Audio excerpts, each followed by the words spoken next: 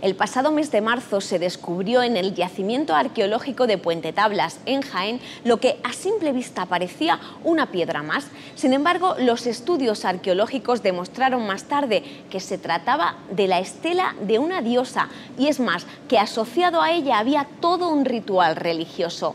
Sobre esto vamos a hablar con un referente de la arqueología en nuestro país, Arturo Ruiz.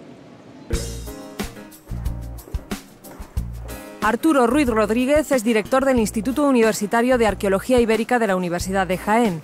Su investigación está entre las pioneras en el proceso de renovación de la arqueología española. Su trayectoria investigadora se ha centrado en el análisis de las sociedades iberas sobre las que ha publicado libros y artículos de amplia repercusión ha sido el investigador principal de numerosos proyectos europeos y es el creador y asesor científico del proyecto Viaje al tiempo de los Iberos, donde están incluidos los trabajos del Opidum Ibero de Puente Tablas en Jaén.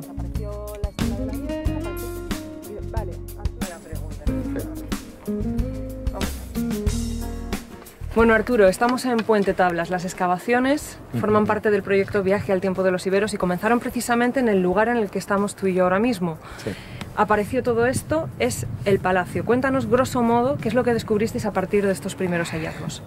Pues la verdad es que siempre habíamos sospechado que aquí había una estructura diferente a lo que era el resto de, del Opidum, de la ciudad ibera. Pero intuíamos que era el palacio, pero nunca se había visto un palacio en Andalucía, no sabíamos cómo podía ser. Y la excavación ha sido verdaderamente espectacular porque hemos localizado lo que parece ser el, el palacio ibérico por excelencia con una característica muy especial, que es el patio central, con una distribución de habitaciones en la que está la parte pública y la parte privada, e incluso un espacio de culto que seguramente es donde se rinde culto a los antepasados del príncipe.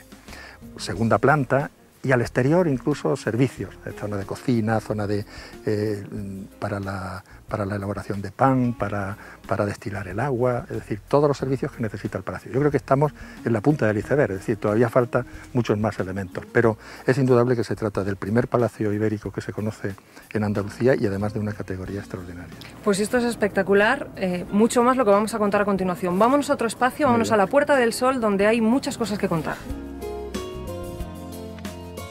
Ahora mismo, Arturo, estamos entrando, nos estamos acercando hasta la Puerta del Sol.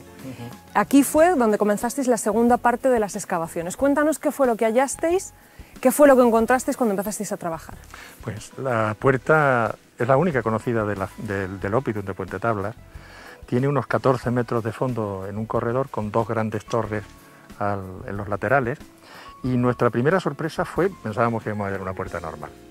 Es una puerta de una cronología del siglo IV a.C., pero eh, topamos con este, este grupo de piedras, de grandes piedras, que además parecen marcar verdaderamente el umbral al interior del ópidum. Esta que está más abajo es realmente una cista, es decir, levantamos esta piedra porque empezamos a ver una serie de huesos, de pequeños huesos, fragmentos. Y comprobamos que se trataba, bueno, nos comprobó eh, los investigadores que hacen el estudio de, la fauna, eh, que se trataba de, una, de un sacrificio de siete cerdas, seguramente preñadas con sus neonatos, y tres cabras. Y que indudablemente marcaban de alguna forma un acto simbólico que pensamos al principio que podría ser la fundación de la, de la, de la puerta. Es decir, cista y restos animales de cerdas hembras embarazadas con sus neonatos. Siguiente hallazgo. Pues el siguiente hallazgo fue todavía más espectacular porque creíamos que se trataba de una piedra sin más. Luego pensamos en un betilo y al final llegamos a la conclusión de que se trataba realmente de una estela de una divinidad femenina, muy conceptual, pero esta es la reproducción, el original ya no está aquí, pero que tiene muy bien marcadas los brazos y las, manos y que seguramente eh, tenía una especie de disco solar o, algún elemento circular en las manos y que además se asociaba a una capilla que está aquí cerca y que puede haber una lectura de que la diosa estuviera una parte del tiempo en la capilla, como es normal en todos estos ciclos mediterráneos de diosas de la fertilidad. Luego lo que sí comprobamos, y esto es importante, una vez desde la diosa y viendo también la posición de la segunda piedra, la piedra más alta, y la salida del sol en el equinoccio, por aquel cerrete, es que la puerta está situada exactamente en la posición este, eh, este-oeste y por lo tanto el equinoccio atraviesa toda la puerta por su centro, ilumina y apaga la diosa en el momento en que, aparece la luz. Arturo, esos fueron todos los hallazgos. A partir de ahí sois capaces de reconstruir todo un ritual. Explícanos. Sí, hay todavía uno, nuevo, pero todavía estamos en ello, que es el santuario que, surge adosado a la, capilla. Pero bueno, ¿cómo interpretar todo este, todo este complejo de información que nos, nos, ha llegado? Es evidente que se trata de un calendario solar, porque la luz del sol en el equinoccio, en los dos equinoccios, pasa por el centro de la puerta y en los solsticios apunta a dos puntos que crean una especie de triángulo triángulo en cuyo fondo la proyección va directamente hacia la diosa.